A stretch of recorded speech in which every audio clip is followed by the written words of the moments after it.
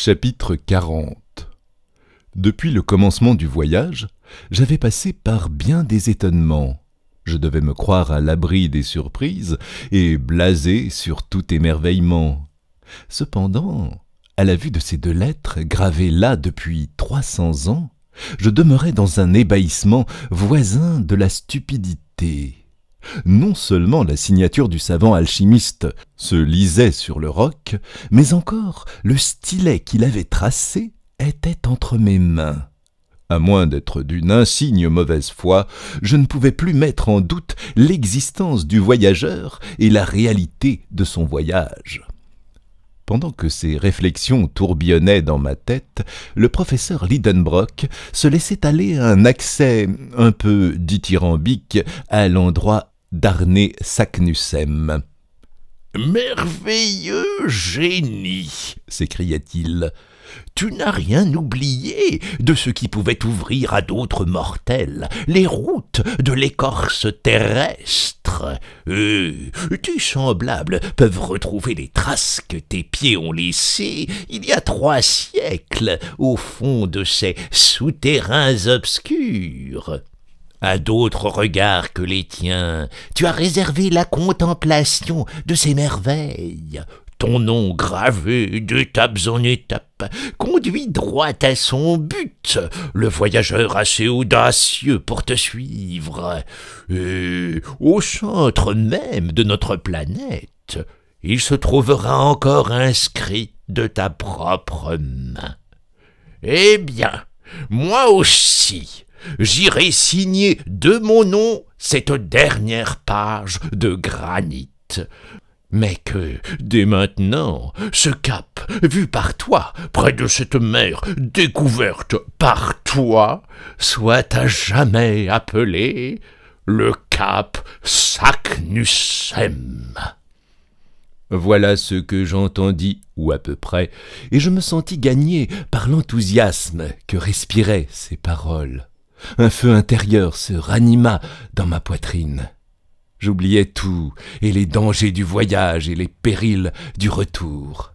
Ce qu'un autre avait fait, je voulais le faire aussi, et rien de ce qui était humain ne me paraissait impossible. En avant En avant m'écriai-je.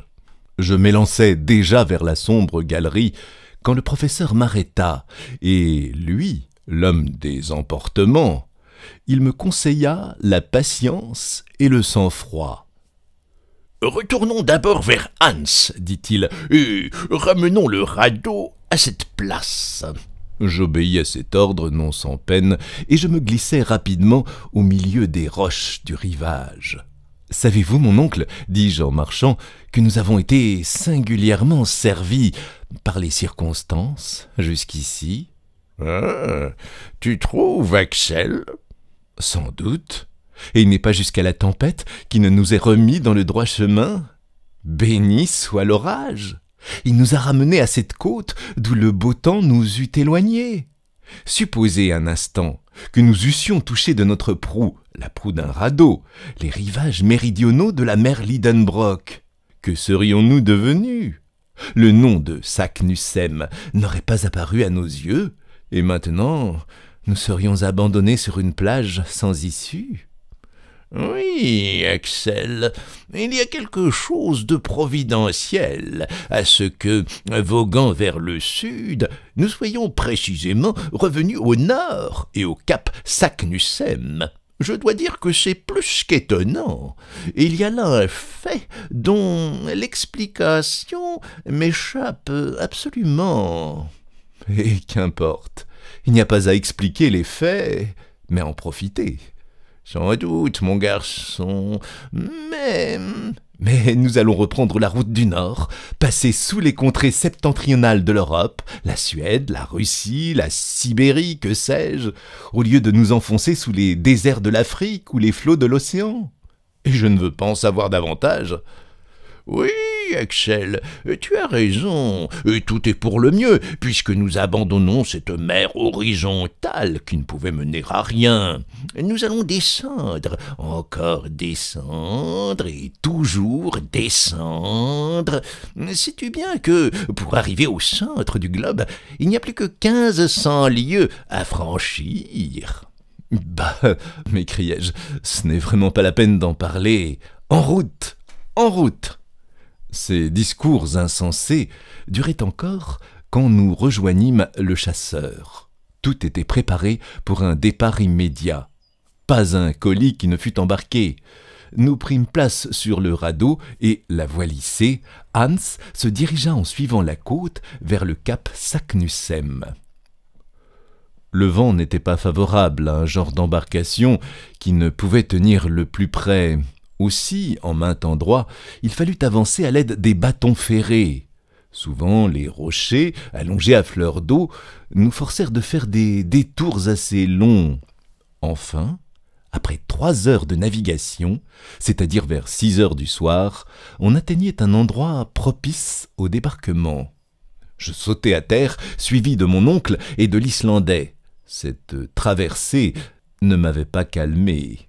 Au contraire, je proposais même de brûler nos vaisseaux afin de nous couper toute retraite. Mais mon oncle s'y opposa. Je le trouvais singulièrement tiède.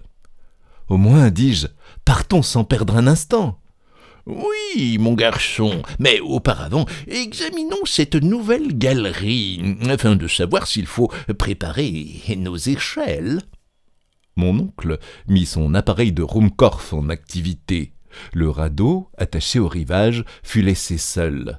D'ailleurs, l'ouverture de la galerie n'était pas à vingt pas de là, et notre petite troupe, moi en tête, s'y rendit sans retard. L'orifice, à peu près circulaire, présentait un diamètre de cinq pieds environ. Le sombre tunnel était taillé dans le roc vif et soigneusement alaisé par les matières éruptives auxquelles il donnait autrefois passage. Sa partie inférieure affleurait le sol de telle façon que l'on put y pénétrer sans aucune difficulté. Nous suivions un plan presque horizontal quand, au bout de six pas, notre marche fut interrompue par l'interposition d'un bloc énorme.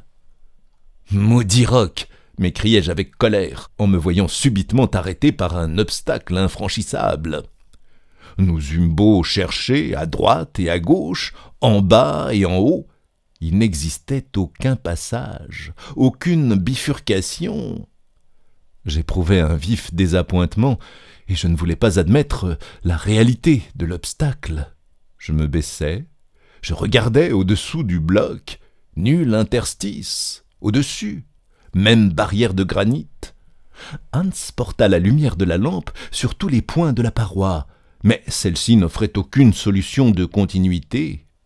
Il fallait renoncer à tout espoir de passer.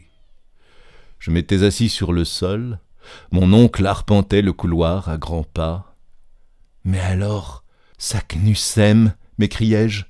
Oui, fit mon oncle, a-t-il donc été arrêté par cette porte de pierre? Non, non, repris-je avec vivacité. Ce quartier de roc, par suite d'une secousse quelconque, ou l'un de ces phénomènes magnétiques qui agitent l'écorce terrestre, a brusquement fermé ce passage. Bien des années se sont écoulées entre le retour de Saknussemm et la chute de ce bloc. N'est-il pas évident que cette galerie a été autrefois le chemin des laves, et qu'alors les matières éruptives y circulaient librement? Voyez, il y a des fissures récentes qui sillonnent ce plafond de granit.